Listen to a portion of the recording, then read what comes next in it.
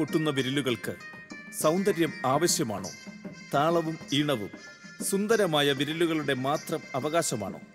എങ്കിൽ ജെറോമിന്റെ കൈകളും വിരലുകളും അത് ചോദ്യം ചെയ്യുക തന്നെ ചെയ്യും. ഈ വിരലുകൾക്കുമുണ്ട് മാന്ത്രികത. ഈ വിരലുകളിലുമുണ്ട് സംഗീതം. ഒരു പക്ഷേ പലരുടെയും കാഴ്ചയിൽ രൂപഭംഗിയില്ലാത്ത ജെറോം ചേട്ടന്റെ മനസ്സ് നിറയെ സംഗീതമാണ്. നമ്മെ വിസ്മയിപ്പിക്കുന്ന സംഗീതം.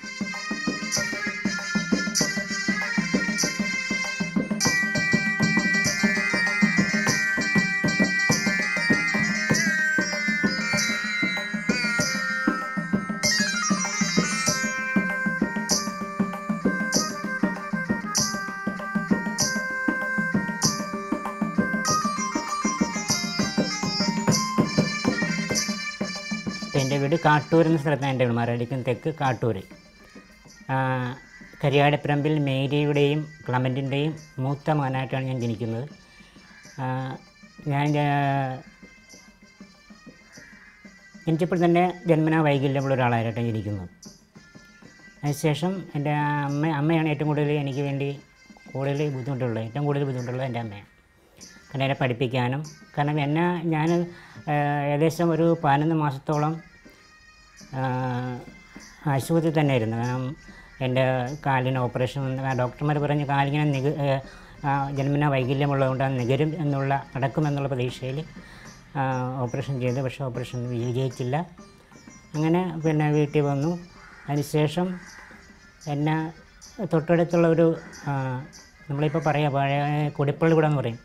ഒരു ഗുരു ഗുരുകുല വിദ്യാഭ്യാസത്തിൽ കൊണ്ട് ചേർക്കുക അവിടെ നിന്ന് പരീക്ഷ എഴുതുമ്പോൾ പരീക്ഷ എഴുതാൻ വേണ്ടി ഞാൻ സ്കൂ- സ്കൂളിൽ കൊണ്ടുപോകും. അങ്ങനെ പത്താം ക്ലാസ് പാസ്സായി. അതിനുശേഷം പ്രൈവറ്റ് ആയിട്ട് പ്രീ ഡിഗ്രി പാസ്സായി. അതിനുശേഷം മൂന്ന് വർഷം ഞാൻ ഡിഗ്രി പഠിച്ചു. ഡിഗ്രി പാസ്സായി. ഇപ്പോൾ ഞാൻ അതിന് അതിനിടയ്ക്ക് ഞാൻ എംപ്ലോയ്മെന്റ് പേര് രജിസ്റ്റർ ചെയ്ത് ഏകദേശം അമ്പതോളം ഇന്റർവ്യൂവിൽ പങ്കെടുത്തു. അതിൽ ഇതുവരെ എനിക്കൊരു ജോലി സംബന്ധമായ അതൊന്നും ചെയ്യാൻ സാധിച്ചിട്ടില്ല. കാരണം ജോലി ജോലിക്ക് വരുക ജോലിക്കൊക്കെ കട വരുന്നുണ്ട്. പക്ഷേ എന്റെ ശാരീരികമാവസ്ഥയ്ക്ക് ചോദിക്കുന്ന ഇതല്ല എനിക്ക് കിട്ടുന്ന ജോലികളാണ് അപ്പോൾ അതുകൊണ്ട് എനിക്കത് മുന്നോട്ട് പോകാൻ പറ്റിയില്ല. അങ്ങനെ ഞാൻ ഇതിനിടയ്ക്ക് ഞാൻ ഒരു എസ് ടി ഡി ബൂത്ത് തൊണ്ണൂറ്റി അഞ്ചിൽ ആരംഭിച്ചു. അപ്പോൾ തൊണ്ണൂറ്റഞ്ചിൽ ആരംഭിച്ച ഏകദേശം പത്ത് പതിനഞ്ച് വർഷത്തോളം എസ് ഡി ബൂത്തിന്റെ പ്രവർത്തനങ്ങളുമായിട്ട് മുന്നോട്ട് ഒരു ഉപജീവന മാർഗം എന്ന രീതിയിൽ മുന്നോട്ട് പോയി. എനിക്ക് ഇവിടെ ഞാനൊരു ഇടം പറയുമ്പോൾ എനിക്ക് എന്റെ ഒരു അനുജൻ ഒരു അനുജൻ അനുജന്റെ കുടുംബം അനുജന്റെ ഒരു മകനുണ്ട്. അങ്ങനെ ഞങ്ങളെല്ലാവരും കൂടെ ഒരുമിച്ചാണ് ഇപ്പോൾ മുന്നോട്ട് പോയിക്കൊണ്ടിരിക്കുന്നത്. കൂടാതെ ഇതിനിടയ്ക്ക് പിന്നെ ഒരു തൊണ്ണൂറ്റി തൊണ്ണൂറ് രണ്ടായിരത്തി പത്തോളായപ്പോൾ ഏകദേശം ആയപ്പോൾ പിന്നെ ഈ ബൂത്തിന്റെ ആ ഒരു വരുമാനമൊക്കെ കുറഞ്ഞ്. കുറഞ്ഞപ്പോൾ ഞാൻ വീട്ടിലിങ്ങനെ ഒരു അന്തർമുഖനായിരിക്കുന്ന ഒരു അവസ്ഥ ഉണ്ടായിരുന്നു അപ്പോൾ അതിൽ നിന്ന് ഞാൻ പലപ്പോഴും ആഗ്രഹിക്കുന്ന ഒരു കാര്യം എന്ന് വെച്ച് കഴിഞ്ഞാൽ ഏതെങ്കിലും ഒരു ഇൻസ്ട്രുമെന്റ് പഠിക്കണമെന്ന് എന്റെ സ്കൂൾ വിദ്യാഭ്യാസ കാലത്തും കോളേജ് വിദ്യാഭ്യാസ കാലത്തും ഞാൻ ആഗ്രഹിച്ചൊരു കാര്യമാണ്. പക്ഷേ നിർഭാഗ്യവശാൽ സാമ്പത്തിക മറ്റു പല കാരണങ്ങൾ കൊണ്ട് അത് നടന്നില്ല.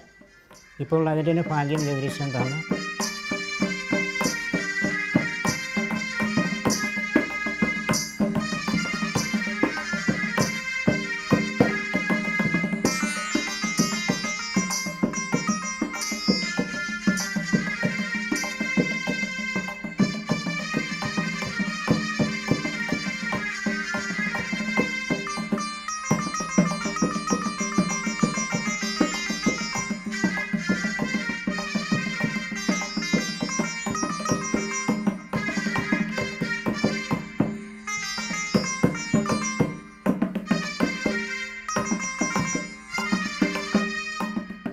ഇപ്പോൾ നിലവിലൊരു സംഘടനയിൽ വർക്കുന്ന ഡബ്ല്യു എ അതായത് വീൽ ചെയർ അസോസിയേഷന്റെ ഒരു സംഘടനയിൽ ഞാനിപ്പോൾ അംഗമാണ്. അപ്പോൾ അതിന്റെ ആഭിമുഖ്യത്തിൽ പല പരിപാടികളും പങ്കെടുക്കുന്നതിന് ഇന്നലത്തെ പരിപാടികൾ എഴുപത്തിനാലാമത്തെ പരിപാടിയിൽ പങ്കെടുക്കാനുള്ള ഭാഗ്യം എനിക്കുണ്ടായി. കാരണം എന്റെ സ്കൂൾ വിദ്യാഭ്യാസ കാലത്തോ കോളേജ് വിദ്യാഭ്യാസ സ്റ്റേജിൽ ഒരു മൈക്രോഫോണിൽ സംസാരിക്കാനുള്ള ഭാഗ്യം എനിക്ക് ഇന്ന് പല വേദികളും പോകാനും ഞാനിപ്പോൾ എന്നെ- പഠിപ്പിച്ച ഗുരുദാനന്ദ ആലപ്പി രാധാകൃഷ്ണൻ എന്ന ഗുരുദാനന്ദൻ എന്നെ പഠിപ്പിക്കുന്നു മൃദംഗം പഠിപ്പിച്ചിരുന്നു. അരങ്ങേറ്റം കഴിഞ്ഞു. സാധാരണഗതിയിൽ ഞങ്ങൾ ഒരുമിച്ച് മിക്കവാറും ചെയ്യുന്ന പരിപാടി എന്ന് വെച്ച് കഴിഞ്ഞാൽ മൃദംഗ ലയവിന്യാസം അമ്പലങ്ങളിലെ മൃദംഗ ലയവിന്യാസം ഇപ്പോൾ എട്ടോ പത്ത് പതിമൂന്ന് അങ്ങനെ പേര് കൂടുന്ന ഒരു മൃദംഗ ലയവിന്യാസം എന്ന പരിപാടിയാണ് നടത്തി വരുന്നത്. അങ്ങനെ ഞാൻ അതിലും പങ്കെടുക്കും. അതിൽ വളരെ എനിക്ക് എന്നാ കഴിയുന്ന രീതിയിൽ അത് അതിൽ പങ്കെടുക്കാൻ എനിക്ക് സാധിക്കുന്നുണ്ട്. അങ്ങനെ ഇപ്പോൾ ഞാൻ എനിക്ക് ഒറ്റയ്ക്ക് ചെയ്യാൻ പറ്റുന്ന ഒരു ഒരു കാര്യമെന്നുള്ള രീതിയിൽ ഒറ്റയ്ക്ക് ചെയ്യാൻ പറ്റുന്ന കാര്യമെന്ന രീതിയിലാണ് ഇപ്പോൾ ഞാനിപ്പോൾ ഈ ട്രാക്കിട്ട് പാടാനുള്ള ഒരു ശ്രമം നടത്തിക്കൊണ്ടിരിക്കുന്നത്. അത് ഒത്തിരി പേര് അത് ഏറ്റെടുത്തു. വളരെ സന്തോഷപൂർവം പല വേദികളും എനിക്കിപ്പോൾ കിട്ടുന്നുണ്ട്. തിരഞ്ഞെടുപ്പ് ഇപ്പോൾ തിരഞ്ഞെടുപ്പ് കമ്മീഷന്റെ ഈ പിന്നെ വോട്ട് വോട്ട് ആ, വോട്ടെടുപ്പുകൾ പരിപാടി അതുപോലുള്ള പരിപാടികൾ എന്നെ ക്ഷണിക്കുന്നു. ഞാനതിൽ പങ്കെടുക്കുന്നുണ്ട്. ആലപ്പുഴ ബീച്ച് ഫെസ്റ്റിവൽ അങ്ങനെ പ്രധാനപ്പെട്ട പല വേദികളിലും പോകാനുള്ള ഭാഗ്യം എനിക്ക് ലഭിച്ചിട്ടുണ്ട്. പക്ഷേ എന്നെ പഠിപ്പിക്കുക എന്നെ എനിക്ക് എന്നെ സ്നേഹിക്കുന്ന എന്നെ ഞാൻ ബഹുമാനിക്കുന്ന എല്ലാവരും സപ്പോർട്ട് ചെയ്യുന്നുണ്ട് അതുകൊണ്ട് ഇത്രയും വരെ എത്തി. ഇനിയും അങ്ങോട്ട് മുന്നോട്ട് പോകും എന്നുള്ള പ്രതീക്ഷയിൽ പോകുന്നു.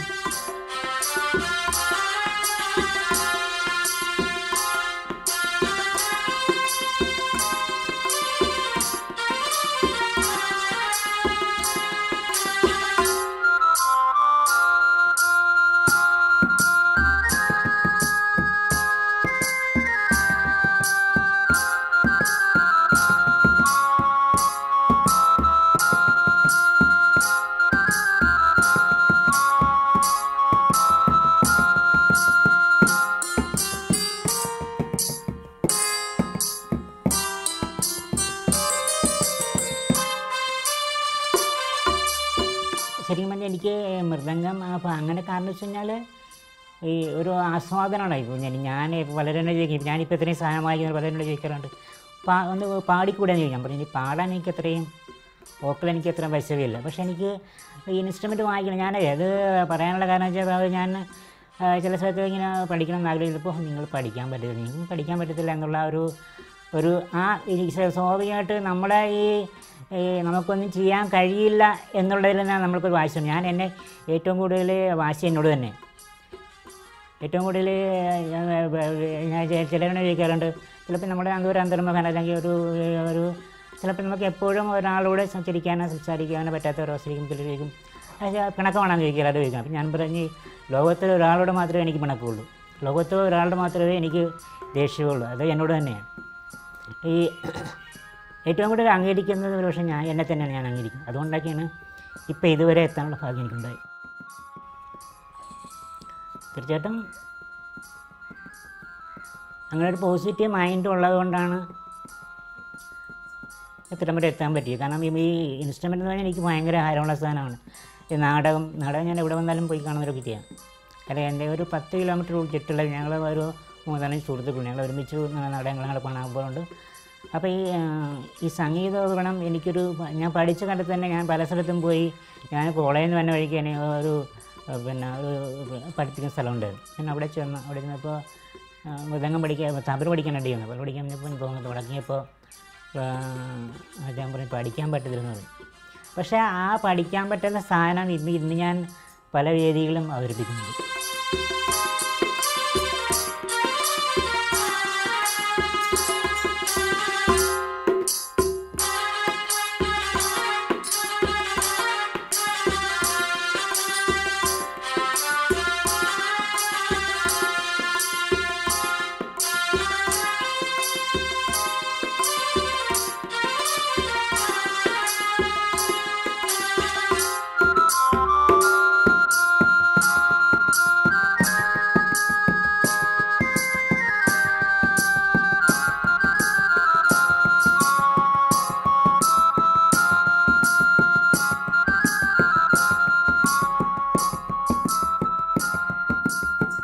അതുപോലെ തന്നെ മൃദംഗം. മൃദംഗം ആദ്യം ഈ ഗുരുദാൻ ആലപ്പരാകൃഷ്ണ അവരുകൾ എന്റെ പറഞ്ഞത് വീട്ടിൽ വന്നിട്ട് ജെറോമിനെ ഒന്ന് നോക്കട്ടെ എങ്ങനെ പഠിക്കാൻ പറ്റും എന്ന് നോക്കട്ടെ.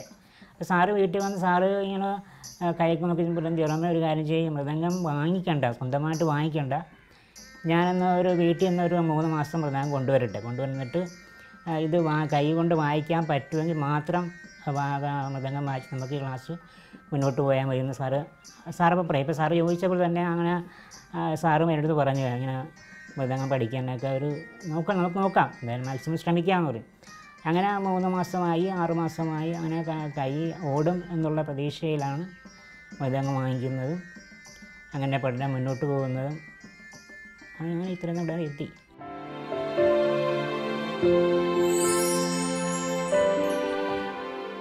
ഇപ്പം എന്തുകൊണ്ടാണ് കുറവ് കുറവുകൾ കുറവുകളൊന്നും എന്നെ സംബന്ധിച്ച് ഇപ്പോൾ എല്ലാവരും പറയും കുറവുകൾ കുറവുകൾ എന്നെ ഫീൽ ചെയ്യാറില്ല. കാരണം ഈ എന്നോട് ഒരു ഒരാളെ ചോദ്യം ചോദിച്ചൊരു ഒരിക്കലും ഒരു ചോദ്യം ഇങ്ങനെ ചോദിക്കേണ്ടത് കാരണം അപ്പോൾ ഒരു സംശയം ഞാനിപ്പോൾ ആ പഞ്ചായത്തിൽ അപേക്ഷ എഴുതാനാണെന്നുള്ള ഞാൻ പറഞ്ഞു കഴിഞ്ഞു. അപ്പോൾ എന്റെ ഇങ്ങനെ വന്ന് ചോദിച്ച് അപ്പോൾ ഇങ്ങനെ സംസാരിച്ച കൂട്ടത്തിൽ ഒരു സംശയം ചോദിച്ചപ്പോൾ ഞാൻ സംശയം ആണല്ലോ അപ്പോൾ സംശയം ഇങ്ങനെ അല്ല അദ്ദേഹത്തിന് ആവശ്യപ്പെട്ട അദ്ദേഹത്തിന്റെ എന്താണ് ചോദ്യം? ആ ചോദ്യത്തിന് ഉത്തരം കൃത്യമായിട്ട് ഞാൻ പറയാം അപ്പോൾ അദ്ദേഹം ആ ചോദ്യം തന്നെ വീണ്ടും മറ്റുള്ളവരുടെ ഇത് ആവർത്തിച്ചു. അപ്പോൾ അദ്ദേഹം പിന്നെ എന്നോട് ചോ- ഉടനെ പറയുകയാണ് നിങ്ങൾ നിങ്ങളെപ്പോലുള്ള ഭയങ്കരമാരാണ് അപ്പം ഞാൻ ചോദിച്ചു "സാ- ചേട്ടാ ചേട്ടന് രണ്ട് കാലുണ്ട്. എനിക്ക് രണ്ട് കാലില്ല. ഇപ്പോൾ ചേട്ടനേക്കാൾ രണ്ട് കാലുള്ള ഞാൻ ഭയങ്കരമാണെന്ന് ചേട്ടൻ വിചാരിക്കുന്നെങ്കിൽ അത് തെറ്റാണ്. പിന്നെ മറ്റൊന്ന് ഇപ്പോൾ ചേട്ടനേക്കാൾ രണ്ട് കാലം എനിക്കുണ്ട്. എനിക്ക് ഈശ്വരൻ ഒരു പോസിറ്റീവായിട്ട് ഒരു നല്ല നല്ലൊരു ഇത് തന്നെങ്കിൽ അതിനെ ഭയങ്കരത്തിനെന്ന് വിശ്വസിപ്പിക്കുന്നെങ്കിൽ ചേട്ടന്റെ ആ ചിന്ത അതിൽ കുഴപ്പമാണ് അതെന്റെ കുഴപ്പമില്ല. പക്ഷേ ഞാൻ ചേട്ടനെ പോലെ രണ്ട് കാലം ഉണ്ടായിരുന്നെങ്കിൽ ചിലപ്പോൾ ഇന്ത്യൻ പ്രധാനമന്ത്രിയാവും പ്രസിഡന്റ് ആവും അങ്ങനെ പലതും ആവും. പക്ഷേ ഇപ്പോൾ ഞാൻ ഈ ചോദ്യം അങ്ങോട്ട് ചോദിച്ചില്ല. ഈ ചോദ്യം എന്നോടാണ് ചോദിച്ചത്. അത് ഞാൻ ഭയങ്കര തന്നെയാണ് ഇപ്പോഴും ചേട്ടൻ രണ്ട് കാലം ഉണ്ടാവും ഞാൻ രണ്ട് കാലം എനിക്കിപ്പോൾ രണ്ട് രണ്ട് കാലമുണ്ട് ഇത് ഞാൻ സമ്മർദ്ദിക്കുന്നതാണ് ഞാൻ ഇപ്പോൾ ഞാൻ ഭിന്നശേഷിക്കാരെന്ന് പറയാൻ ഞാൻ ആഗ്രഹിക്കുന്നില്ല. കാരണം വെച്ച് കഴിഞ്ഞാൽ മറ്റുള്ളവരെ ഇപ്പോൾ ഒരു ഒരു കാര്യത്തെ മാത്രമേ എനിക്ക് ഈ മറ്റുള്ളവർ ചോദിച്ചാൽ ഉത്തരം കൊടുത്തു കാരണം ഞാൻ വിവാഹം ചെയ്തിട്ടില്ല. വിവാഹം ചെയ്തുകൊണ്ട് ഒരു മനുഷ്യൻ പൂർണമാകുമെന്ന് ഞാൻ വിശ്വസിക്കുന്നില്ല.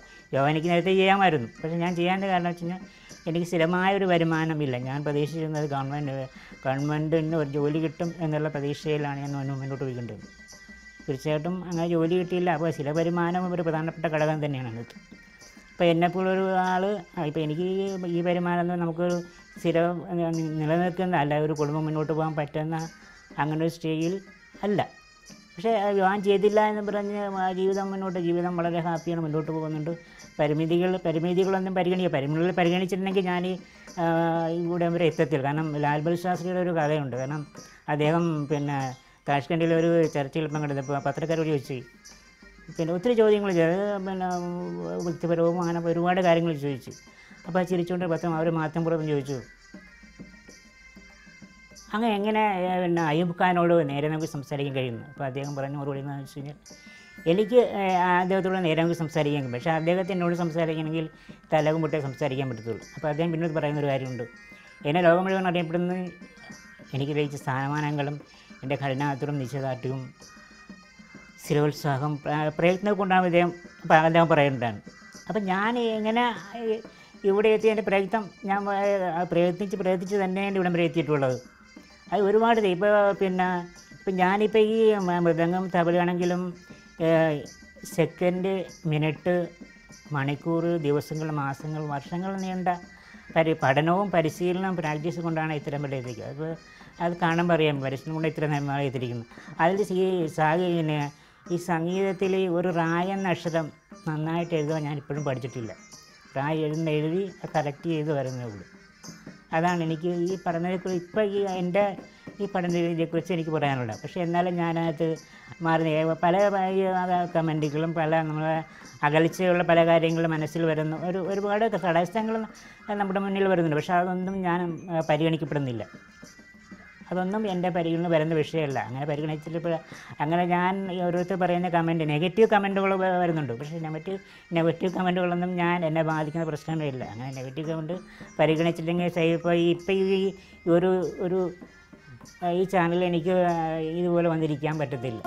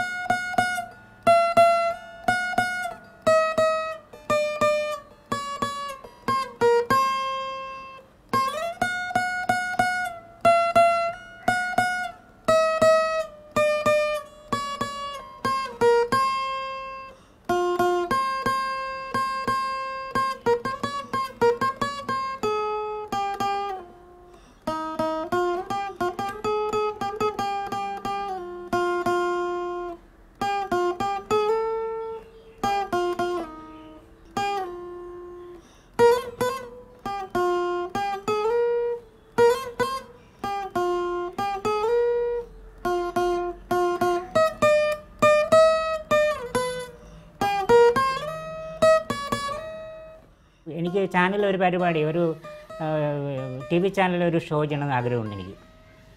പക്ഷെ അതെനിക്ക് ഇതുവരെ നടന്നിട്ടില്ല. അത് ഭയങ്കരമായ തടസ്സങ്ങളാണ് വരുന്നത്. ഞാൻ ഇപ്പോൾ പല പ്രോഗ്രാമിൽ ഇത് എടു കൊണ്ടുപോകുന്നുണ്ട്. പക്ഷേ ആരും എന്നെ ഇതുവരെ വിളിച്ചിട്ടൊന്നുമില്ല. അപ്പോൾ എനിക്ക് ഒരു ആഗ്രഹം എന്ന് പറയുന്നത് ഒന്ന് ടി വി ഒരു ടി വി ഷോയിൽ എനിക്ക് പങ്കെടുക്കണമെന്നുള്ളതാണ്. എന്റെ ഒരു പെർഫോമൻസ് ടി വി ഷോ കാരണം ഈ ഇപ്പോൾ എന്റെ പരിപാടി ടി വിയിൽ അവതരിപ്പിക്കുന്നതിനേക്കാൾ അപ്പുറം ഞാൻ വേറെ ഒരാഴ്ചൊരു ഇപ്പോൾ ഈ പരിപാടി എനിക്ക് ഞാനൊരു മോട്ടിവേഷനായിട്ട് കാണുന്നുണ്ട്. അറിയാമോ ഇപ്പോൾ എന്നെപ്പോലുള്ളവർ എന്നെപ്പോലുള്ള വീടിന്റെ അകത്തളങ്ങളിൽ മാത്രം കഴിയുന്ന ഒത്തിരി പേരുണ്ട്. പുറം ലോകമായിട്ട് യാതൊരു ബന്ധമില്ല അവർ വിചാരിക്കണം എന്തിനാ പുറത്തിറങ്ങിയിട്ട് ഒരു മടിച്ച് നിൽക്കുന്നവർ ഒത്തിരി പേരുണ്ട്. അപ്പോൾ അവർക്ക് കൂടെ ഒരു മോട്ടിവേഷൻ ആകട്ടെ എന്ന് ഞാൻ ആഗ്രഹിക്കുന്നു. കാരണം ഇതുപോലെ ഞാൻ പലരും പറയാറുണ്ട്. പല വേദികളും പറയാറുണ്ട്. ഞാൻ ഇപ്പോൾ എന്റെ ഈ പരിപാടി അവതരിപ്പിച്ച് നിങ്ങളെ സന്തോഷിപ്പിക്കുക അല്ലെങ്കിൽ എന്റെ ചെറിയ പരിപാടിയാണെങ്കിലും നിങ്ങൾ സന്തോഷിക്കുന്നതിനേക്കാൾ അപ്പുറം ഇത് ഈ പരിപാടികൾ ഞാനൊന്നും ചെയ്യുന്നില്ല. പക്ഷേ ഈ പരിപാടി കൊണ്ട് നിങ്ങളും പലരും ഇതുപോലെ വരുന്നത് വന്നു.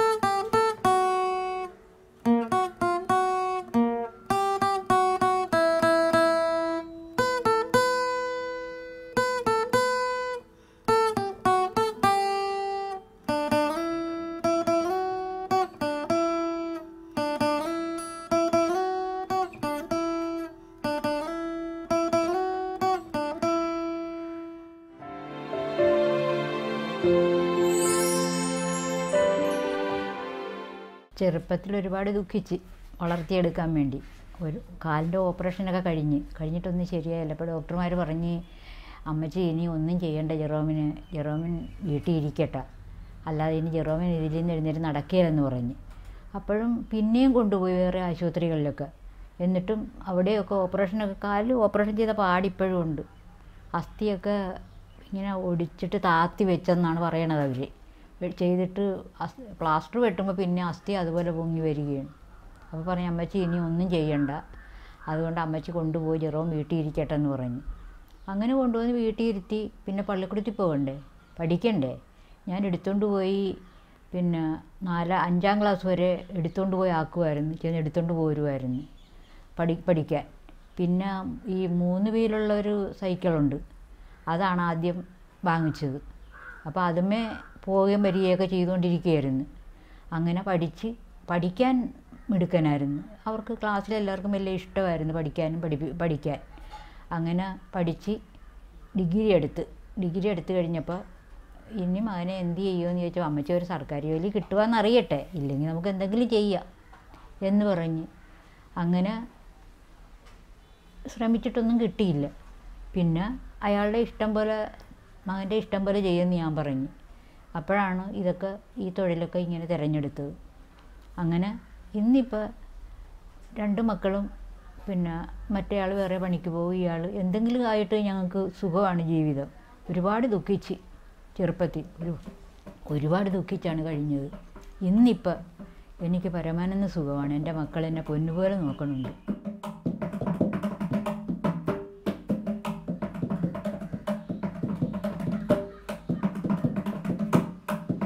പഞ്ചായത്ത് ഓഫീസിൽ സാധാരണക്കാരായ ആളുകൾക്ക് അപേക്ഷ എഴുതി നൽകുന്ന ഒരു ജോലി കൂടി തന്റെ വിരലുകൾ കൊണ്ട് ജെറോം ചേട്ടൻ ചെയ്യുന്നുണ്ട്.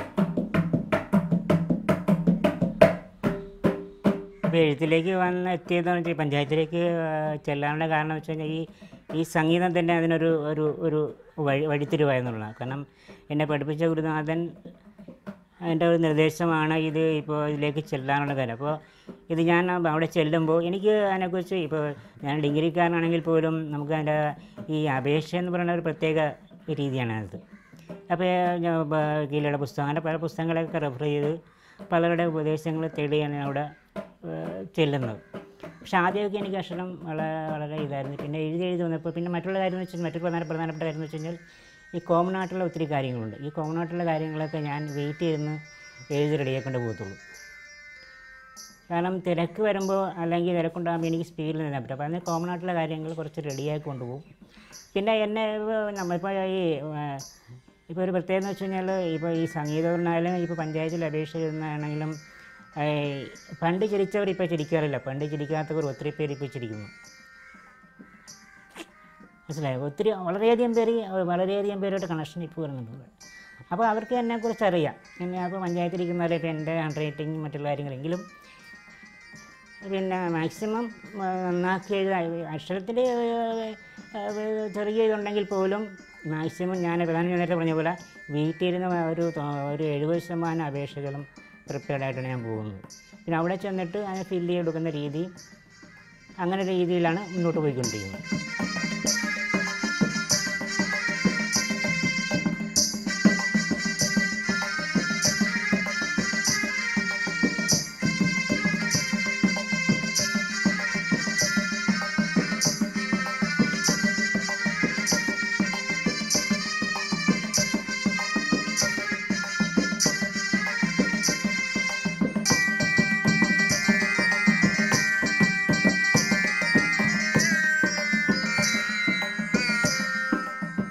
ജെറോം ചേട്ടന് ഏകാന്തത എന്നാൽ തന്റെ സംഗീതമാണ്. തന്റെ ശരീരത്തിന്റെ കുറവുകളിൽ സംഗീതത്തിന്റെ അമര സൗന്ദര്യം നിറയ്ക്കുകയാണ് ജെറോം. ഒരു പക്ഷേ പലരും നെറ്റി ചുളിച്ചു നോക്കിയ കൈകളും വിരലുകളും ഇന്ന് നമ്മെ വിസ്മയിപ്പിക്കുകയാണ്. സംഗീതത്തിന്റെ മാന്ത്രികതയിൽ താളത്തിന്റെ ചടുലതയിൽ. അതെ ജെറോം ഒരു താളം തന്നെയാണ്. അടച്ചിട്ട മുറികളിൽ തനിച്ചിരുന്ന് കരയുന്ന കലാകാരന്മാർക്ക് ജീവൻ നൽകുന്ന ഒരു താളം